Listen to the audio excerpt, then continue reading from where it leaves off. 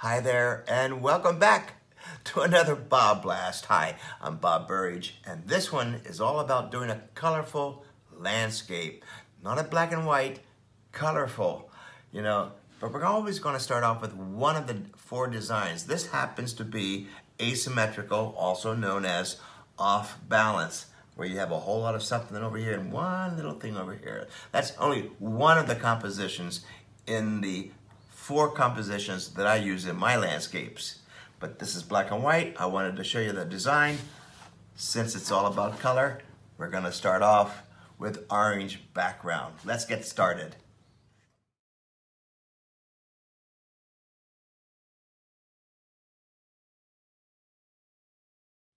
So of course I start off with my goof-proof color wheel. And look, it says dominant color, blue, focal point, red, the two spice colors, yellow and purple. So I already have it out. Here's, I put out a couple blues. I like choices. Dark blue, middle tone group blue. There's some cobalt blue. Over here is my focal point color, red. But I have that opera in there and I have my cadmium red in there. I like to mix it all up. Over here, the two spice colors, yellow and the purple.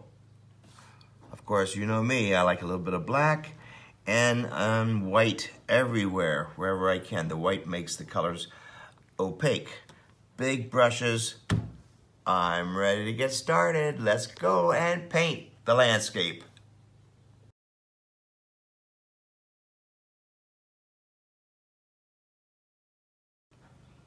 Okay, I'm ready to go.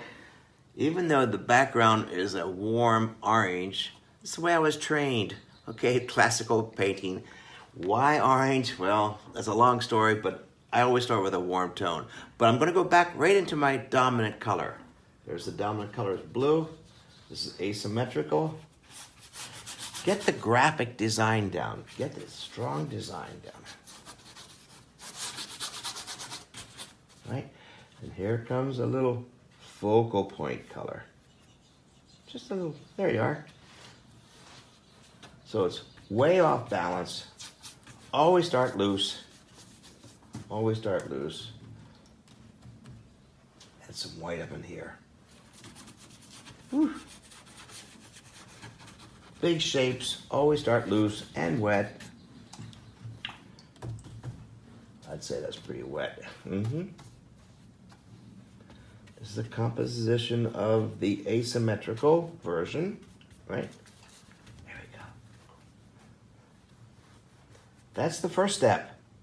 Now I'm gonna paint right into wet on wet. Gotta get a focal point color in there, right? Remember, the focal point color is one spot. One spot, you can't miss it. I'll put it somewhere else too. You should have paint everywhere all at the same time. More water. Whoa. It starts to paint itself if you use lots of water. Look at this. Oh, there's that orange peeking through. A little bit of a sunset. cool. Right. More white. put some clouds in here.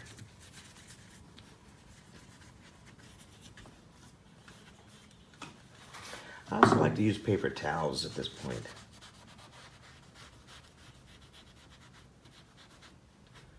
Remember, the focal point is only in one spot. You don't want to have two focal points. This is loose, not tight. Let's go into some of that spice colors. Whoa! Look at that. Spice colors, yellow. You always put the spice colors around the focal point and around the spice color too. Let's really make it spice color. Whew. See, painting everywhere. I've got paint on my fingers. I'm painting quickly only because this is a very short video. Now the violet color, here comes the violet color. That's the other spice color.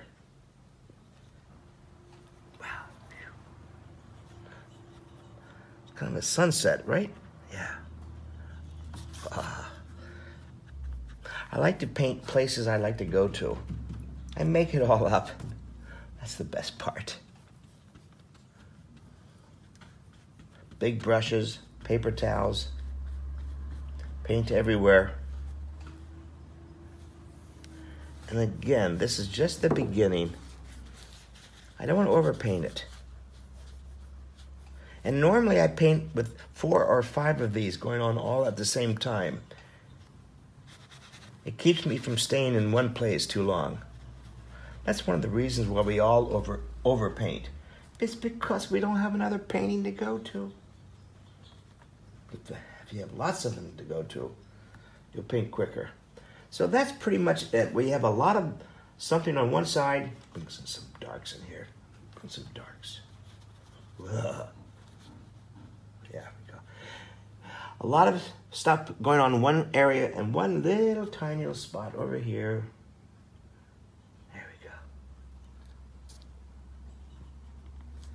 So the world's fastest course on landscape painting. Paper towels, big brushes, still a focal point.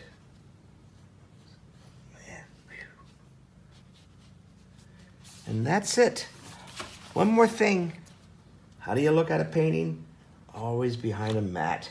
You can't look at the painting in the same area where you created it, so you have to isolate it and bringing it in here. And now I can see what's exactly what's right, what's wrong, what more does it need.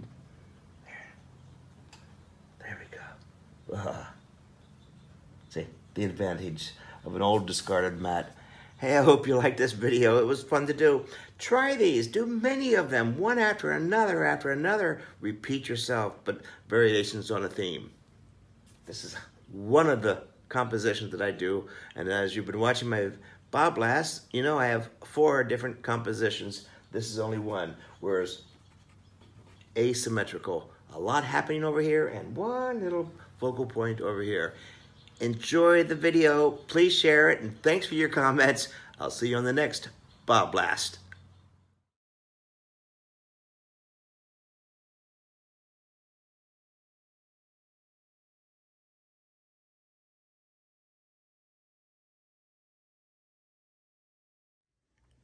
Hi there, I'm Bob Burridge, a painter and guess what? I'm going to be painting and teaching at the Dillmans, a four-day loosen up. Don't we all want to loosen up? And I'm going to show you how I develop my own ideas, how I get my colors down, and how I take these ideas and turn them into great paintings that I love to do. And you're going to love doing your paintings too, because you're going to be painting the whole time. We cover every different subject, and whatever your ideas are, I'm going to be supporting you. So loosen up, four days. What an idea, huh? And I can't wait at the Dillmans. I'll see you there at the Loosen Up workshop.